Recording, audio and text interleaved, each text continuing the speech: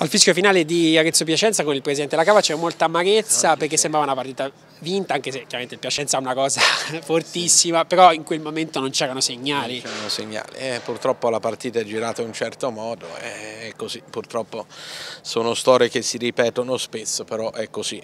Ricordiamoci sempre, come hai detto te, che rosa abbiamo noi in confronto ad altre rose di squadre che hanno fatto rose per vincere i campionati c'era solo il segnale che la squadra che a un certo punto si era creata quasi da sola una paura che non esisteva, no? perché la palla diventava bollente, è diventata bollente improvvisamente. Eh lo so, eh, infatti, eh, oggi sono molto amareggiato, guarda, perché dopo aver visto quel bel primo tempo, sinceramente speravo che oggi riuscivamo a vincere, però anche oggi è andata così. Eh. Tra l'altro avevamo messo anche qualche difensore in più, cosa che non era accaduta eh, altre volte. Altre volte, eh, quindi è così, dai questo è il calcio diciamo. Comunque è una classifica cortissima, cortissima. può ancora succedere di tutto. Sì, vedo il Pisa dove sta, quanto stava indietro a noi, mi fa riflettere questa cosa un po'. Il Pisa quanto, dopo che aveva perso qua, quanto era indietro? 7-8 punti mi sembra. E quindi eh, vabbè, il calcio è così, eh, che devi fare?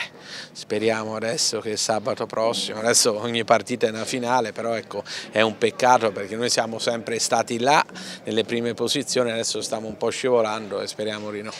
Senti, oggi era il giorno del, del CDA, si è letto di un clima distensivo, sì, sì, molto, sì, sì, assolutamente distensivo e abbiamo preso atto come l'altra settimana delle, delle dimissioni di Orgoglio Amaranto di, della società di Massimo, però un clima assolutamente tranquillo e quindi andiamo avanti tranquillo. fino a martedì non si sa se ci sarà l'amministratore sì, unico o se ci sarà un nuovo CDA? Sì, adesso perché Orgoglio forse vorrebbe proporre un, un altro nome, chiaramente me lo proporranno e vediamo, è sempre un piacere avere i tifosi nel CDA, però adesso vediamo con tranquillità, però ripeto, la cosa interessante è che c'era un clima di, di serenità e questa è la cosa poi al di fuori del calcio, la cosa più importante per i rapporti umani.